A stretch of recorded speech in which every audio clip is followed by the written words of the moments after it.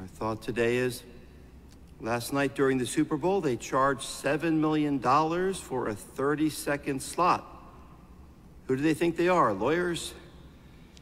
So today we begin the, God, the letter of James, a wonderful epistle written by St. James. And just want to mention a few thoughts about the themes that we'll be hearing about in the letter of James. It's a wonderful epistle. It takes 20 minutes to read. It's 108 verses, and 52 verses in the letter are advice and instructions on how to live the spiritual life, how to live the moral life as followers of Christ. It's a very practical book, only five chapters. Uh, St. James is writing to the Jewish converts to Christianity that are scattered throughout the Roman Empire. He calls them the, the, um, the 12 tribes that are dispersed throughout the world. And get, he uses five chapters to reflect the five books of the, the Torah, the first five books of the Old Testament. So that's very paralleling the first five books of Scripture. And the letter of James is very similar to the Sermon on the Mount, very practical advice. It's sometimes been called the New Testament book of Proverbs because of the, the very good advice that St. James gives. And there's a number of Jameses in the New Testament. Who is the author of this book?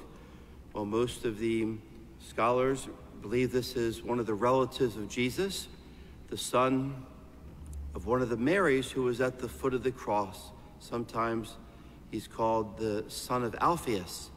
So James would be the one who, after St. Peter went to Rome, James stayed behind in Jerusalem and became the first bishop of Jerusalem, and that he was really one of the pillars of the church in the city of Jerusalem. And we believe that James was martyred around the year 62 AD at the instigation of the high priest Annas II. So, what are the main themes in this letter of James? We know that we, he probably wrote it about the year 60, just a few years before his death. Again, he's dress, addressing Jewish converts that are living the Christian faith. He gives them instructions, as we heard this morning, about the value of suffering, not to waste your suffering, but God allows sufferings to bring about our perfection and to bring about our growth and holiness and to become more like Jesus. He talks about the importance of faith and works, that faith without love is dead.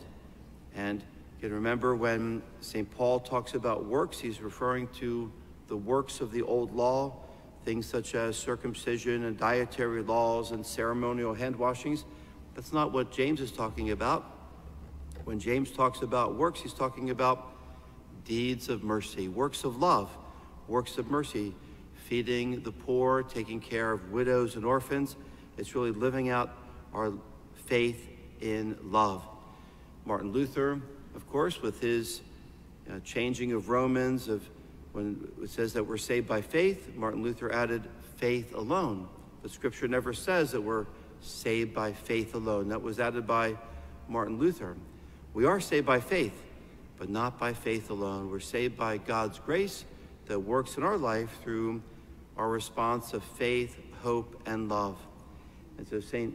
James talks about that faith without works is truly dead. So it's a very clear teaching of the, the importance of living out our faith in love. Then St. James also talks about our speech and how our speech should only be used to praise God and glorify God, not to gossip, not to lie but the, the use of the tongue has to be for righteous purposes. It also talks about wealth and how to deal with uh, money and how that we should not be attached, overly attached to the things of this world. St. James would talk about he who loves the world really does not love God. So there, there's a dichotomy between the two. So again, I encourage you to read this wonderful letter. Again, very practical suggestions on, for example, not judging others, avoiding backbiting, being detached from material things, being concerned for the needs of the poor, especially orphans and widows, the importance of prayer, and remaining faithful to God. And one of the most interesting parts of James's letter is that it has the, the clearest description of the anointing of the sick in the New Testament. It's a very explicit mention of anointing of the sick, that if anyone is sick among you, let them send for the priests of the church. Let the priests pray over them, anointing them with oil in the name of the Lord. The prayer of faith will save the sick person, and the Lord will raise them up. If they have committed any sins, their sins will be forgiven them. So here we have all the elements of what we call the anointing of the sick the use of oil, the prayer, liturgical prayer of blessing, having the priest be sent for the, to a person who is sick, and that the effects are often physical but spiritual, the forgiveness of sins. So it is a wonderful letter, and you can see why Martin Luther didn't like it. He called it the Epistle of Straw. He said it should be burned because obviously it's very Catholic. It's very Catholic teaching. So he didn't like it, but of course it is the Word of God, the inspired Word of God. So maybe one of the suggestions during Lent is to uh, maybe just read a few verses every day 108 verses, maybe read two verses a day during Lent and try to apply it to our daily life. So I'll give you a blessing with the relic of St. James, the author of this letter.